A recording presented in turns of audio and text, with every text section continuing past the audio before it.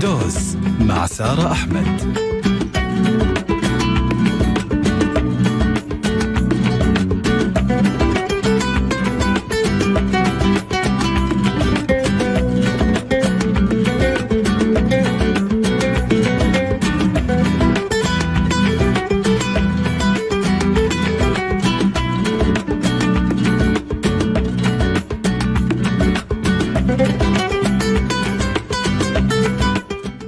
صباح الخير ويسعد صباحكم مستمعينا معاكم سارة أحمد فدوز وحكون إن شاء الله معاكم من الساعة 11 للساعة 12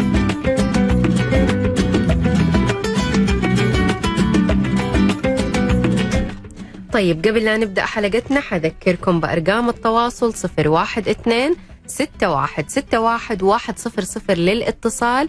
ولمشاركتكم طبعا موضوعنا ومشاركتكم كمان جوائزنا. وعلى الواتساب حيكون 055 66 واحد. اسمك الثنائي ومدينتك والجائزة اللي أنت حاببها.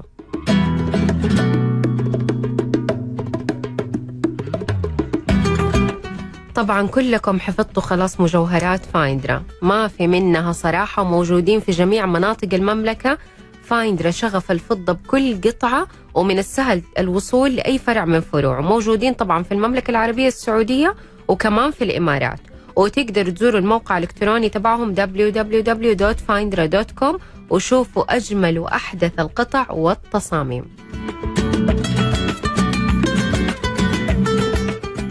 وطبعا فايندرا موجودين في معظم مدن المملكة والجائزة اللي بيقدموها المستمعين ألف ألف فقط كوبون بقيمة ألف ريال سعودي.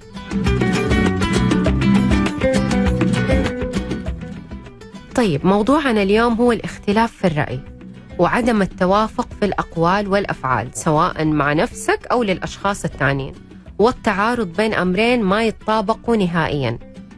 أحدهم صادق والآخر منافي تماما وهذا السلوك يغير فيه الشخص طريقة إدراكه.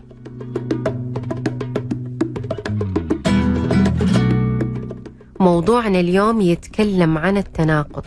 طبعا كلنا يعني في ناس تفهم إنه التناقض آه نفاق وفي ناس تفهم إنه التناقض معناته أنا إنسان غير متزن وفي ناس فاهمه التناقض إنه تناقض. فكلنا بنعيش تناقضات في الحياة. لأنه التناقض طبيعة إنسانية وكل شخص فينا في صفات متناقضة ومرات صعب نشوفها يعني في نفسنا ممكن نشوفها في غيرنا بس صعب نشوفها في نفسنا. بس الأكيد أنه نلاحظها في غيرنا فكلنا بنعيش التناقض سواء بوعي أو من غير وعي. وطبعا كل شخص على حسب إدراكه لنفسه وقوة ملاحظته لشخصيته.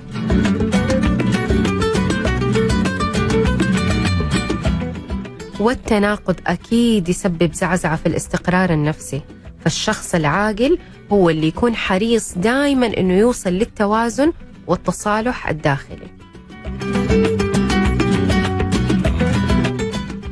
والتناقضات في الحياة أو في الشخصية مختلفة. مو شرط كلها سلبي ولا شرط كلها إيجابي بس أحيانا بنجلس مع نفسنا ومية فكرة وفكرة بتجي في بالنا وكلها عكس بعض وما تشبه بعض أساسا. ونحس بالتناقض مرات أنت نفسك تتفاجأ من نفسك في مواقف معينة. تكون متخيل أنه ردة فعلك تكون كده لكن تتفاجأ أنك تصرف تصرف أساسا ما يشبهك. ومو معناته أنك متناقض بس طبيعة الحياة كده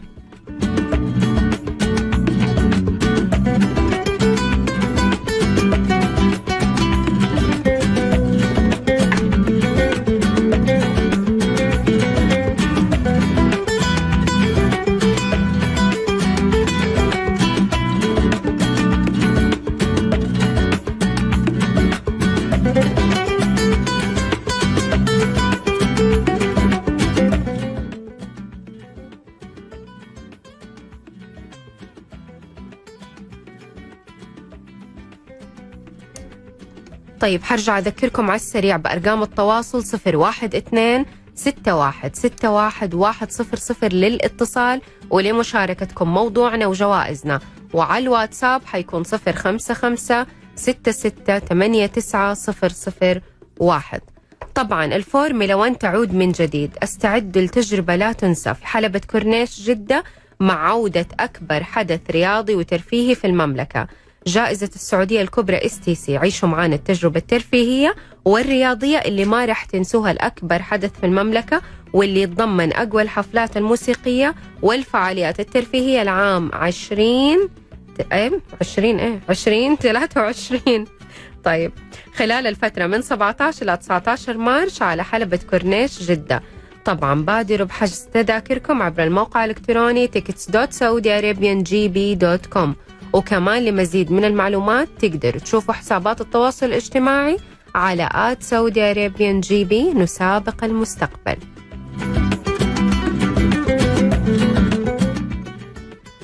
طيب حنطلع معاكم فاصل سريع مع أغنية عبد المجيد تناقض.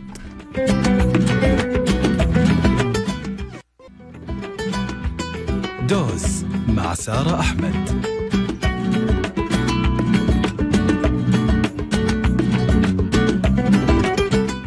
ورجعنا لكم من جديد مستمعينا وما زلنا معاكم على السمع وحرجع على السريع.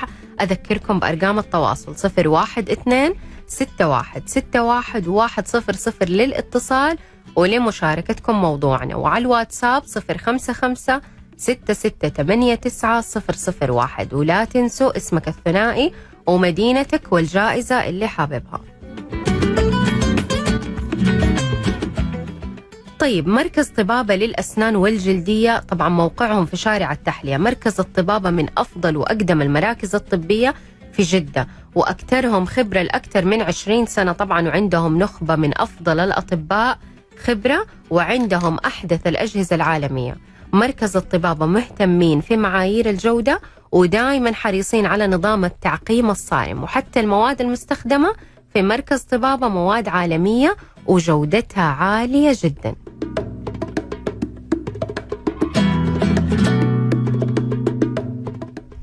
طيب كم مرة أتناقضت مع أفكارك وأفعالك؟ طبعا كلنا تناقضنا كثير في أفكارنا وأفعالنا وأوقات كثير تتعارض مشاعرنا مع مبادئنا.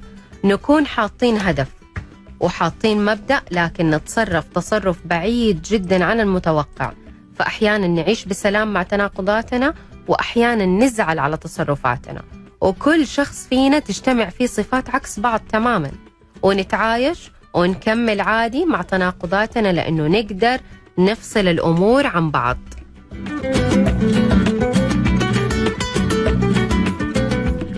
وأوقات كثير بعض التناقضات تجذب عقولنا إحنا كبشر بشكل خاص في مشاعرنا. لما نتعلق مثلا بأشخاص ويكون تصرفاتهم أو شخصياتهم ما تناسبنا. نحس إنه إحنا في تناقض بين إنك متقبل الشخص وحابه وبين إنك مو طايقه وكارهه في نفس الوقت. طيب ناخذ اتصال. صباح الخير. صباح النور. أهلين مين معايا؟ عبد الرحمن من جدة. أهلين يا عبد الرحمن وأهلين في كل أهل جدة اللي جالسين يسمعونا. يا مرحبا حياك الله يسعدك. الله يسعدك يا رب. عبد الرحمن أكيد سمعت موضوعنا اليوم. والله أنا لسه توي طالع السيارة ف- يلا، أوكي. ما طيب كم مرة أتناقضت في أفكارك مع أفعالك يا عبد الرحمن؟ والله من جهة التناقض آه، كثير يعني أوقات يعني تضطر إنك تتناقض مع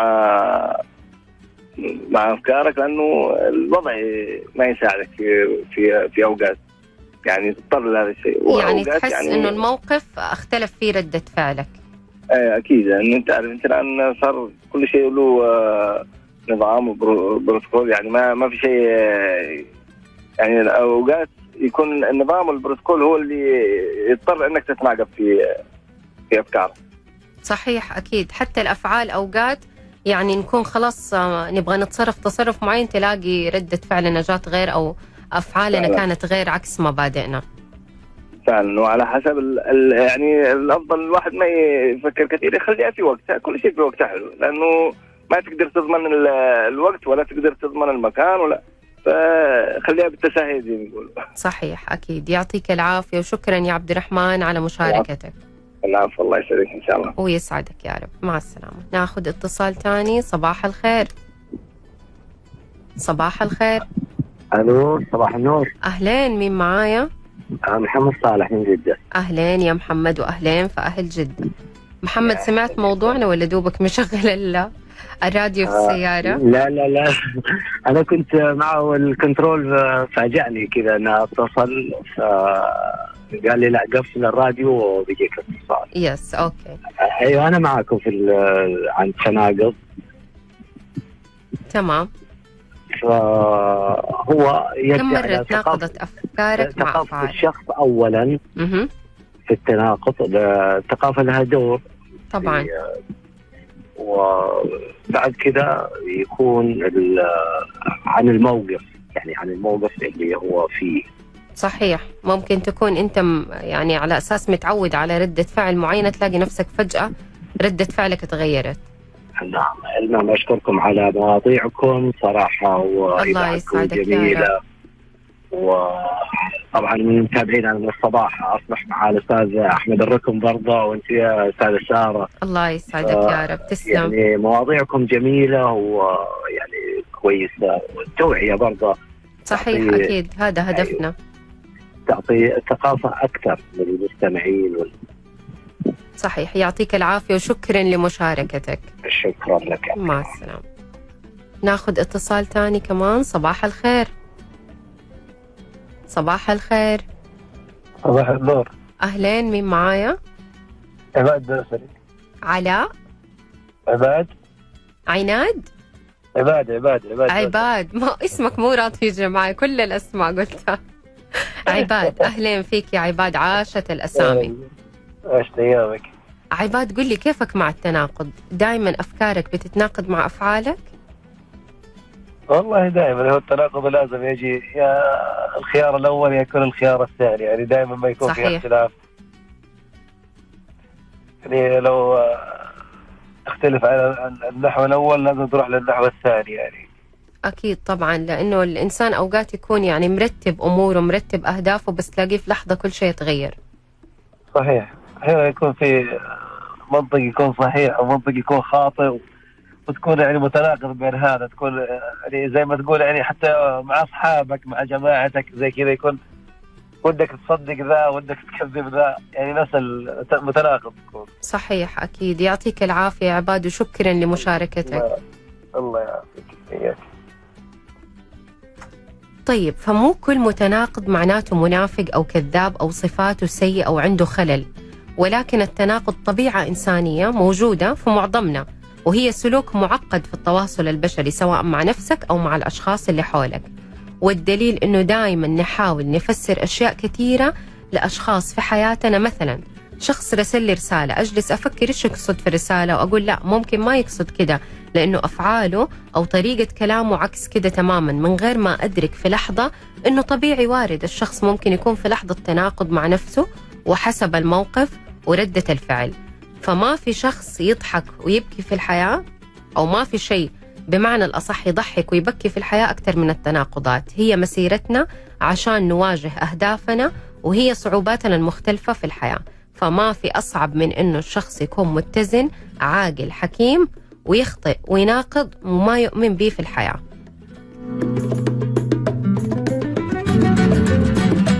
ناخذ اتصال. صباح الخير. هلا صباح النور هلا استاذة يسعد صباحك يا فهد صباح الخير. يا حبيبتي إيش والنسبة سحبتي علي كل المتصلين الثلاث قدامي. يلا مو مشكلة انت دائما رقم واحد وحتفضلي رقم واحد لا تشيلي هم. يا حبيبتي الله يسعدك ويرفع قدرك يا رب. إن شاء الله قلبي. بخاطرك. آمين يا رب ويجبر بخاطرك. طيب حبيبتي. أيوه قولي لي سمعتي موضوعنا اليوم؟ إيه عن التناقض. أيوه صحيح. والله كل واحد شخص يعني ما يحب التناقض بس هي الحياة كذا سبحان الله تجي. صحيح. أحيانا ترسم شيء وتقول شيء ويجي على العكس. فهذا الشيء طبيعي يعني كل البشر يعني يتناقضون عندهم تناقض لو داخليا. انت تبي تحقق هذا الشيء فاحيانا سبحان الله الحياة تجي عكس. صحيح. تناقض شيء عادي يعني. ولو إن نحرص على إنك ما ودك تقول أي شيء إلا تطبقه ويجي يعني مية مية بس إنك سبحان الله هذه هي الحياة يعني. صحيح أكيد مية بالمية صح كلامك. يعطيك العافية فهد وشكرا لمشاركتك دائما شكرا حبيبتي للمخرج ربي يسعدك. ويسعد قلبك يا رب. طيب وممكن يصدر أحكام في موقف معين يخالف مبادئه وتدخله في حالة خصام مع نفسه لأنه التناقض يفسد عليه الطريقة اللي رسمها لنفسه في الحياة ويسأل نفسه ليش أنا متناقض. مثلا نلاقي زوجة زوجها يبغى يتزوج عليها. ممكن تتجنن أو تنهار لأنه في شخص تاني ممكن يرتبط أو يرتبط في غيرها أي واحدة تانية يعني. لكن في المقابل هي تنتقده ليل نهار مع صحباتها. عادي هذا تناقض. نلاقي أب ممكن يشجع الحرية والمرأة وإنه لازم تستقل وتسافر وتشتغل لكن مانع بنته من إنها تسوي كل دي الأشياء. وهذا كله تناقض للقيم والمبادئ. طيب حنطلع معاكم فاصل صغير مع أحمد سعد. آه، شو اسمه مخرجنا؟ أحمد سعد قادر أكمل. يلا.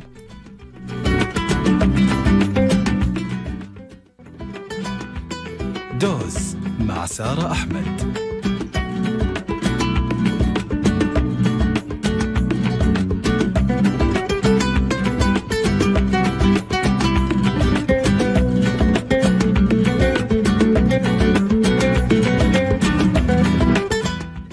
ورجعنا لكم من جديد مستمعينا وما زلنا معاكم. ولا تنسوا تتواصلوا على صفر واحد اثنين ستة واحد ستة واحد واحد صفر صفر للاتصال ولمشاركتكم موضوعنا.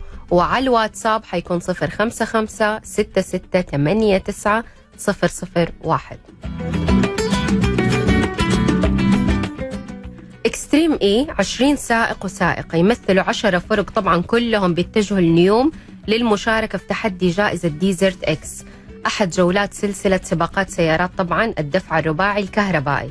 Extreme E يومي حيكون 11 و12 March 2023 طبعا يتماشى مع جهود المملكة لترسيخ مفاهيم الاستدامة وتعزيز استخدام السيارات الكهربائية.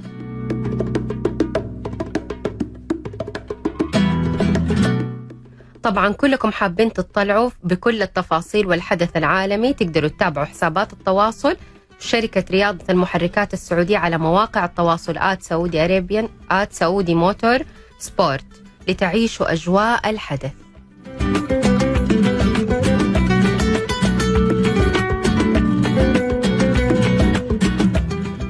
فالتناقض في شخصياتنا في حياتنا في بعض أهدافنا أمر طبيعي لكن ما أخلي التناقض هذا يعني يدخلني في صفات سيئة زي النفاق الكذب أو إني أكون شخص ضعيف الإرادة متناقض أو إني أجامل على الخطأ. فأسوأ شيء كمان الشخصية المتناقضة اللي تتناقض في أفكارها وأفعالها في نفس المواقف أو مواقف مشابهة.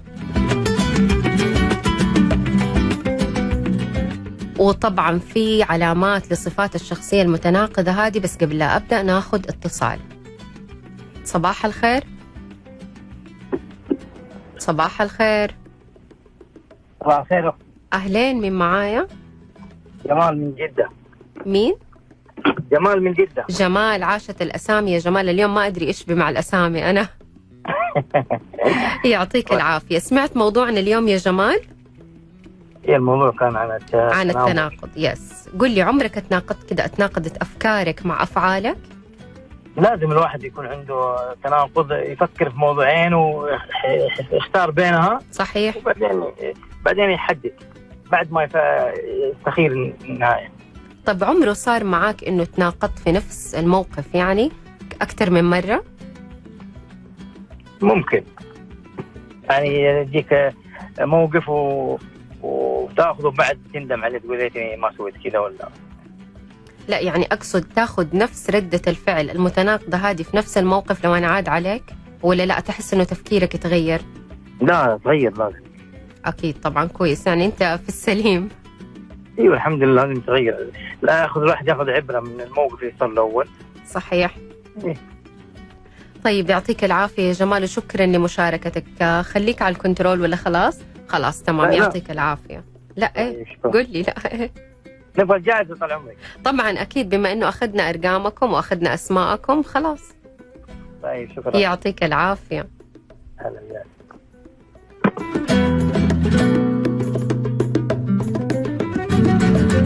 طيب ناخذ اتصال تاني. صباح الخير. صباح النور. أهلين من معايا؟ السلام عليكم. وعليكم السلام ورحمة الله. عطية الحريصي عطية أهلين يا عطية صديق البرنامج. أهلين فيك. عطية من. جدة طبعا. إي نعم من جد الله يسعدك طيب عطية يعطيك العافية. اليوم موضوعنا عن التناقض. إي نعم. طيب عمره صار معك إنك تناقضت كده في أفعالك وأفكارك أو أتكرر عليك الموقف وأخذت نفس ردة الفعل؟ والله بالنسبة للتكرر لا. يعني قد صار بالنسبة لما ممكن أتناقض مع نفسي بس يعني شيء بسيط. ليش؟ لأنه مجرد مجرد ما تصير معايا الأولى مهم. آه، الثانية أحاول أحسبها أكثر من مرة قبل ما أتناقض مع نفسي. أها. كويس. يعني لازم إني أحسبها صح. فالحمد لله يعني بفضل رب العالمين أنا ما ما أظن إني قد عملت شيء وقد ندمت عليه. طب الحمد يعني- لله كويس.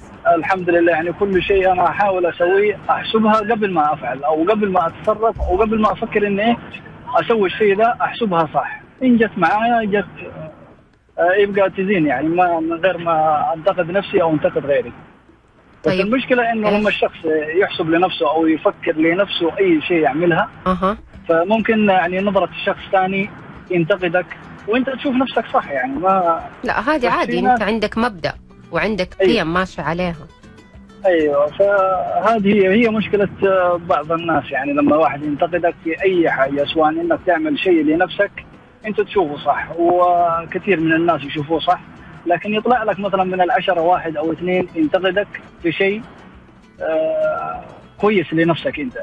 وهو ما عجبه لكن مش عارف ليه يعني لكن خلاص. أنت عندك مبدأك فأنت ماخذ قرارك يعني. نعم أنا ماخذ قراري ومقتنع. أنا. ماخذ قراري ومقتنع لنفسي ومتأكد. أنا ما أسوي حاجة اللي أنا أحسبها صح ومتأكد بفضل رب العالمين هو اللي بيأيدني على ده أكيد طبعا. يعطيك العافية وشكرا لمشاركتك يا عطية. الله يعافيك ويسلمك إن شاء الله. تسلم. ناخذ اتصال ثاني. صباح الخير. صباح النور. أهلين. مين معايا؟ أهلين. سارة كيفك؟ بخير. الحمد لله. الله يسعدك. مين معايا؟ معك رولا من الباحة. أهلين يا رولا وأهلين في أهل الباحة. أهلا. الله يسلمك. ويسلمك حبيبة قلبي. سمعتينا اليوم؟ سمعتي أيوة موضوعنا؟ موضوعكم كثير آه، حلو يعني. موضوع التناقض آه، في مواقف بحياتنا في أفكارنا حتى. صحيح. آه، من المواقف اللي صارت معي ممكن لو يعني صديقة كلمتني على مشكلة أها فتأخذ رأيي فيها فأنا كلمتها لا المفروض إنه أنت ما تسكتي وتردي عليهم عن هذا الموقف وتتصرفي كذا. لكن لما أنا أنحط بهذا الموقف اختلف الوضع وما عرفت أنا إيش أعمل. يعني ممكن بالرأي نسمع نسمع المشكلة نعرف نتصرف. أها بس أفكاري موجودة لكن لما أنحط بالموقف ممكن أنا تلاقي ردة فعلك تغيرت تغيرت أيوه. مهم. لأنه اللي يسمع الموقف مو مثل اللي اللي ينحط في الموقف نفسه. صحيح أكيد. مليون في المية أنا معك مو بقول لك التناقض مو بس للأشخاص اللي حولك كمان لنفسك. فمرات لكن الواحد بيتعلم ما يت... لما يتكرر مع هذا الموقف يعرف يتصرف إنه المرة الماضية أنا ما رديت لا هالمرة لازم أعرف أنا أتصرف وأرد و أتخذ السلوك الصحيح. أو تتخذي القرار الصح يعني ما تكرري خطأك في نفس المواقف. أيوه. يعطيك العافية يا رولا وشكرا لمشاركتك وإضافتك الله الجميلة. يسلمك يا رب. ويسلم شكراً قلبك يا. رب. الله يسلمك. طبعا زي ما قلت لكم في علامات كثيرة لصفات الشخصية المتناقضة. دائما الشخصية المتناقضة يكونوا غير مرتاحين ويحسوا بتوتر وحساسيتهم تكون عالية وهذه علامة على التناقض العقلي. ودائما يتجنبوا المواقف والصراعات ويفضلوا عدم المواجهة ويختاروا الطريق الأقل مقاومة وهي علامة كمان على التناقض في الشخصية. يا مخرجنا. مستعجل ليه؟ أوكي. وفي كمان علامة تأكد على التناقض في الشخصية وهي تجاهل الحقيقة واتخاذ قرار خاطئ على أساس إنها من وجهة نظر عقلانية. كمان لما تبرر لنفسك وتاخذ قرار غلط وتقنع نفسك إنه هو صح هذا يدل على التناقض العقلي. كمان الخوف من الأشياء اللي تخليك متناقض لما تسوي شيء مخالف لأفكارك وتخاف إنك تخالف رأي أحد عشان بس اللي حولك يعجبوا فيك وفي أفكارك اللي عكس مبادئك تماما. فلما نحس بالتناقض لازم نوقف ونعيد حساباتنا لأنه في أشخاص يدعوا المثالية ويناقضهم موقف وفي ناس تدعي الصدق ويناقضهم مواقف وفي ناس يدعوا الإنسانية والشهامة وتناقضهم مواقف كثيرة.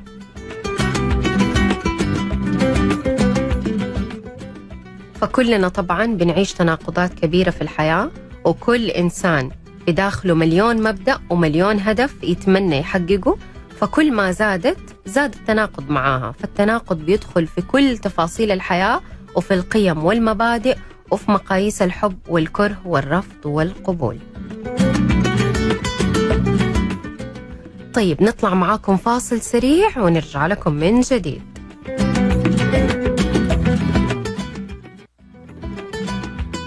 دوز مع سارة أحمد. ورجعنا لكم مستمعين لآخر فقرة لنا في اليوم وطبعا في أسباب كثيرة للتناقض في الشخصية. خاصة لما تلاقي نفسك في مواقف فيها تناقض بين أفكارك وموقفك وأفعالك.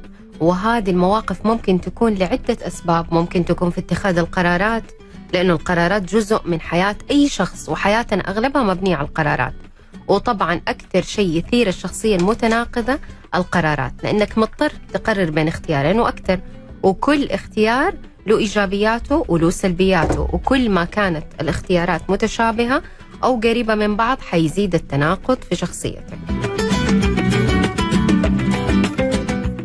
الجهد كمان من الأسباب اللي تسبب التناقض العقلي لما. لما تجهد نفسك في التفكير كثير أكيد حتتعرض للتناقض اكتساب معلومات جديدة في حياتك تعتبر سبب رئيسي للتناقض في الشخصية. لما تكتسب معلومات أكثر يعني ممكن تغير رأيك في معلوماتك القديمة أو المعرفة بالنسبة لك تخليك ممكن تتناقض في أفكارك وأفعالك. طيب جاتني رسالة هنا من الأخت فاتن. طبعا فاتن صديقة البرنامج. التناقض حلو تكتشف حلول جديدة أفكار أفضل لأنه لو ما تناقضت بتكون على فكرة واحدة. صحيح يا فاتن زي ما قلت لما تكتسب معلومات جديدة بتغير طريقة تفكيرك والسبب بيكون إنك تناقضت بين أمرين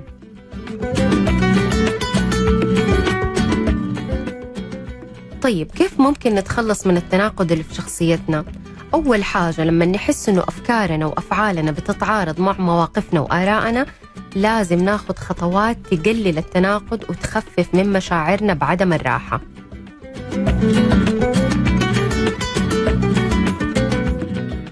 نحاول نغير الأفكار المتناقضة وهذا من أبسط الطرق لحل التناقض العقلي. وعشان تغير موقفك في أي موضوع يعني حاول يعني مثلا حاول تشوفه بطريقة تانية أو من جانب إيجابي أكثر عشان طريقتك تتغير للأفضل. وإذا ما قدرت توصل لمعلومات جديدة أو طريقة تغيير تساعدك آه طبعا لازم تتجنب الفعل نفسه اللي يحسسك بالتناقض. فكمان آه لما تحس نفسك يعني آه بين قرار مصيري لازم تاخده لازم تجلس مع نفسك وتفكر ما تستعجل في القرار عشان ممكن لو أخذت قرار يتناقض مع قرارك ومبادئك وقيمك حترجع تندم ندم شديد.